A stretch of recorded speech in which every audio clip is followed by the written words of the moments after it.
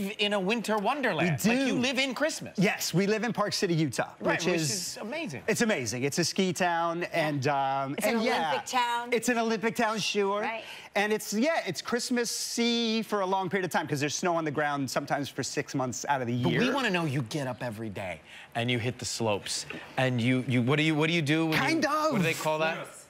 uh, slalom. No, no, no. But there's a cool way of saying it. Like Ski? no, there's a cool like you cut the edge or something like that. Uh. like a school like no. I learned how to ski as an adult, so I don't know any of those terms. I Yeah, know pizza, pizza, and French yeah, fries. yeah. Pizza and French fries. Yeah, I think the kids have some lingo. Some lingo, some, like, surf lingo for the snow. ripping. That Yeah, kind of stuff. It's not ripping, but it's No. something Your like that. kids must be expert skiers because they were born and raised there. Yes. So they are like They're pretty good. And if, you know, if your kids aren't on skis by three years old in Park City, Utah, you are pretty much shamed out of town. Right. So uh, all the kids, yeah, they've, they're pretty good skiers. Our 10-year-old Jackson is a really Do good you little teach the skier. kids? So that's the thing.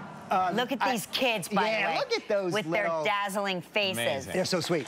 Yeah, so I've learned the hard way not to try and teach anyone that uh, is very close to me, anyone I love, anything that is very cold, painful, challenging.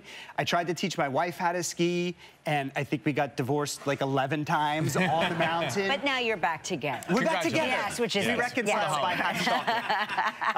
um, but so, and, and it's funny the way the kids respond to a coach rather than their dad. Like if I called myself Coach Scott, maybe they'd listen to me. Mm. A little more them how to- respect, Yeah, right? some respect. Yeah, that's No, what they're- they That's all I'm looking that's, for. That's what you want. A little-